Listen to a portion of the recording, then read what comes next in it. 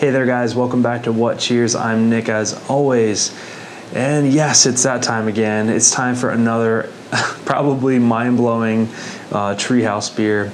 This is a brand new one that just came out called Pacer.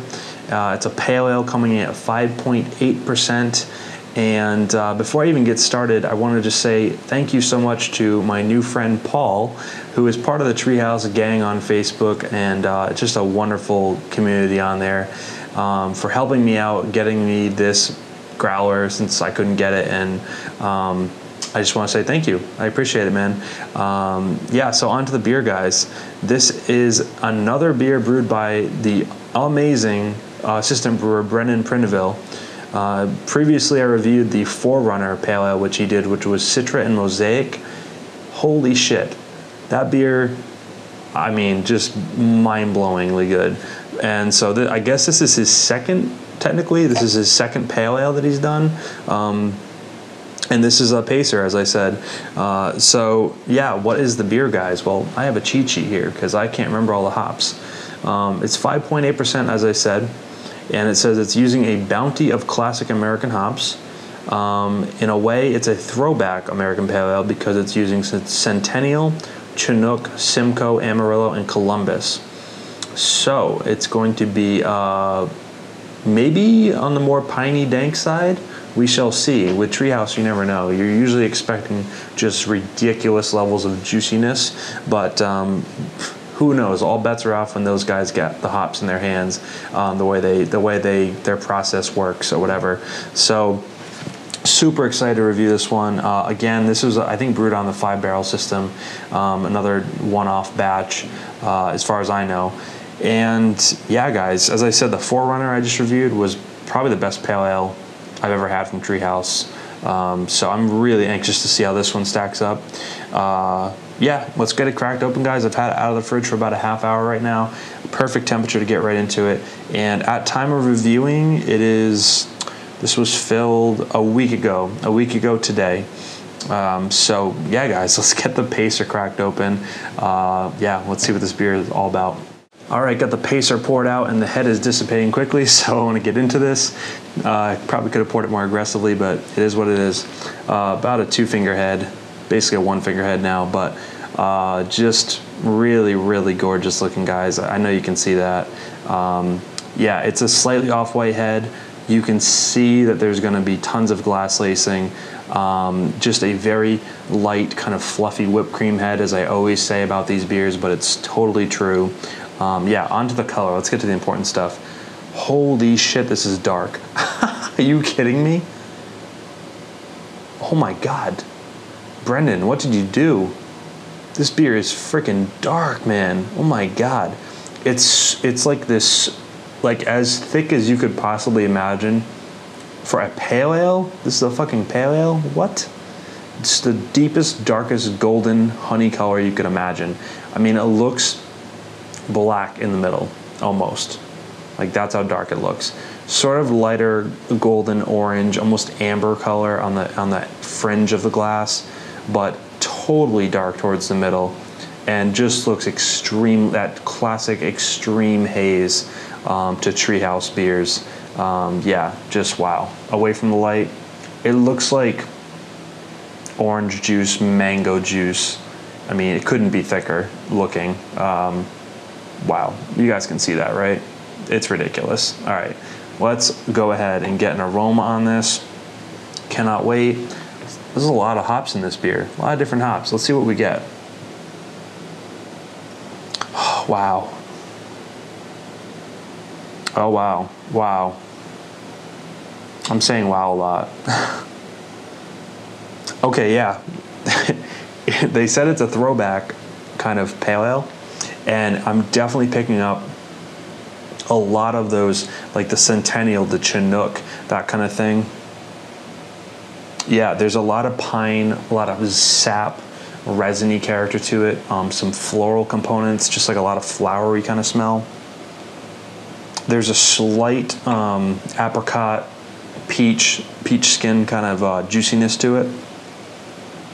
I really filled this too high though. I really can't swish it too much, but yeah, peach, apricot, and then a lot of pine, sap, resin, a little earthiness.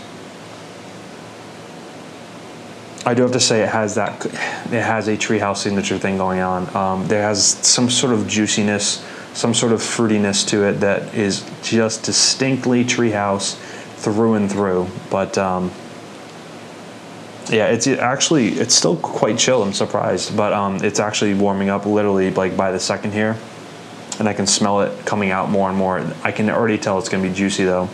Cheers, guys. Let's get a sip.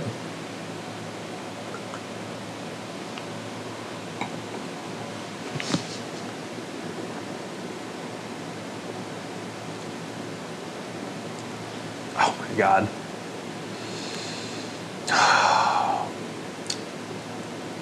Oh my god, it's so good. Okay. I love you, Treehouse. I love you guys. Thank thank you, Nate. Thank you, Brendan. Thank you everyone at Treehouse. I just love you guys. Oh. See, what you don't pick up in the aroma is that like the treehouse juiciness that you're gonna get. Um, it's just there in spades. I mean, even though it has like a piney resinous kind of thing, a little earthy, it's still just that treehouse juicy fruit flavor. I mean,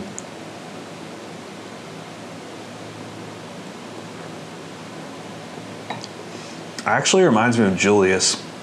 Um, somewhere in between, I think like Julius and Sap. Maybe a touch of green in there as well. I'll tell you this right now. This does not drink like a fucking pale ale.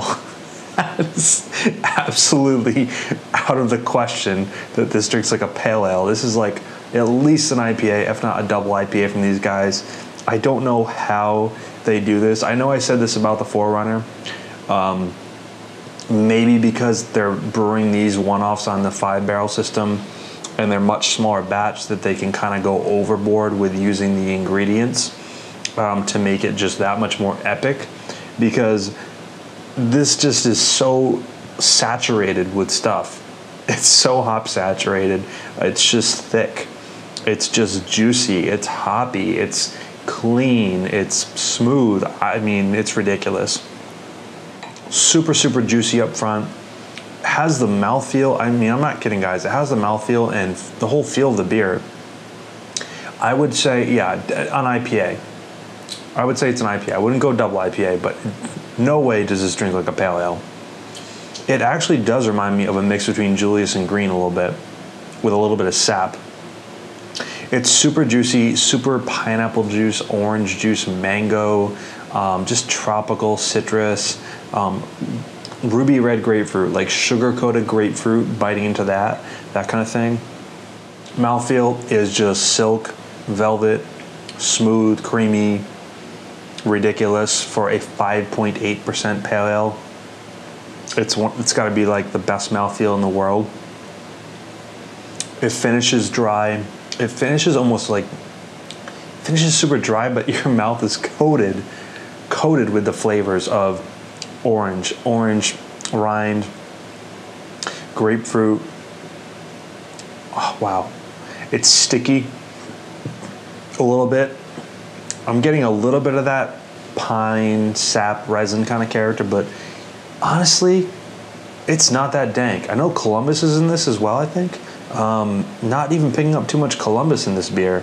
I'm not sure exactly what hop or hops are dominating, but this is surprising me. I expected this to be much more of a piney um, West Coast kind of tasting, you know, hop bomb, um, and it's really got. It's like you know, it's a treehouse take on it, so it's just a juice bomb, and then that West Coast kind of, uh, as they said, throwback hops as a background. It's not up in the forefront. Or it's just the way they use the hops. It's just it's just the process that they use the hops. They're extracting them in totally different ways. I don't know anything about that, but clearly they're doing something that no not many breweries in the world are doing because it's Treehouse Brewing Company and they they just know what the fuck they're doing. I, it really just tastes like juice, guys. Again, juice with like a, a twinge of a piney yeah, piney like bite to it. But that is it. There's no like dank, earthy, you know, that kind of thing going on. It's dry with, I mean, there's basically no bitterness. It's just hop bite on your tongue. There's no bitterness to this beer. Absolutely fucking ridiculous. As of right now, I don't know which one I'd like better between the Forerunner and this, but I think the Forerunner probably just because it was With citra and Mosaic. Forget about it. But this is absolutely ridiculous. I mean, it's ridiculous. All right, I'm gonna sip on this for another few minutes. It actually is almost at the perfect temp for me to wrap up the review. So I'll sip on it and come back with my final thoughts and score. But come on, guys, come on. It's gonna be a high one. It's gonna be a high score. I'll be right back. All right, guys. So for the Pacer Pale Ale from Treehouse, holy crap. Um, you know, let's go over the hop combination one more time, just so we're all on the same page here. This is Centennial, Chinook, Simcoe, Amarillo, and Columbus. If you read those, those hops in that combination from any other brewery, you wouldn't get excited. I don't care who you are, what you say, you just wouldn't get excited. You have that combination with Treehouse taking control, you get something completely incredible, like, like really, really incredible. I, I, was not. I was expecting this to be very West Coast. I was expecting this to be very dank and piney and earthy and citrusy, and I was going to be fine with that. Um, I was expecting that. I said, okay, cool, that's good. Somehow, these guys, I, I don't know what they're doing. Brendan, you're a genius. Nate, you're a genius.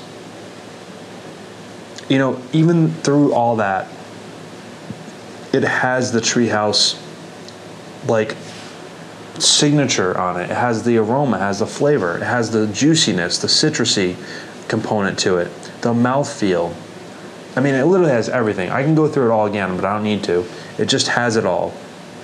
From start to finish, has it all. Classic treehouse beer, through and through. It tastes, and because they're brewing this on the five barrel system, the original um, brewing system, and it just tastes like when I first went to Treehouse years ago. And that's very, very special to me that I can still open up a growler, you know, three years later and have it be just like when I first went there. Um, yeah, that's just very, very special to me. I, I, think this tastes like some of the first beers I ever had from them, and I felt the same way about the for, the Forerunner.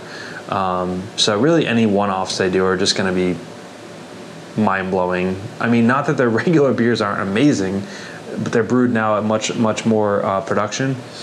These just have a very special. They have a very special character to them, and I'll I'll leave it at that. But um, yeah, guys. Even like all those hops combined, the dankness. There's no dankness. First of all, even the piney and like resinous character is is so hidden. I don't know where they're getting out of those hops. I don't know how they're getting that much juiciness, like juicy fruit, tropical fruit, citrus fruit. I don't know where they're getting that out of. Which hops are giving them that? Just incredible stuff, guys. It tastes like juice. It tastes like hop juice, and it's so crushable, but it has a mouthfeel that's creamy. I don't know what they're doing over there. But guys, as far as a rating on this beer, uh, I looked at the Forerunner. I gave that a 99 plus, and then I changed it to 100. So for this one, I'm gonna go. I want to go 99 plus as well, but I'm gonna leave it at 99 plus. I'm absolutely 100% sure on that. I want to leave it at 99 plus because I like the Forerunner just that much better. Because that one was just straight mosaic and citra, and it was a revelation. Um, but absolutely phenomenal, guys. If you had this, um, I, I, know a lot of you guys actually do comment and you say that you've had these, which is awesome because I don't want to be. I don't want to be reviewing everything that you guys can't get. It's kind of silly, um, but there are a lot of you now coming forward that are, are, you know, trying their beers. So let me know if you've had this uh, Pacer. I would love to know your thoughts on it, and maybe even in comparison to some of the other pale ales. Uh, I do think this one is better than Lights On as well by a slight margin. It's just a little bit more complex, a little bit bigger. Definitely get lights on if you can because they, brew that kind of regularly now and release it in cans and all that stuff. It's absolutely phenomenal. Um, but yeah, let me know if you've had this Pacer or the Forerunner. and I hope they continue this series. I'm guessing that Brendan is is is doing the, uh, his own thing now over there, and he's got free reign to brew whatever he wants. Um, so I'd be curious to know what you guys think, and I want to give a huge thanks again to Paul. Thank you, Paul, for hooking me up with this dude. I really appreciate it. And remember, guys, to like, comment, subscribe, and I'll see you in the next beer review. I'm gonna go enjoy this because this is just well, you already know. All right, guys. Cheers.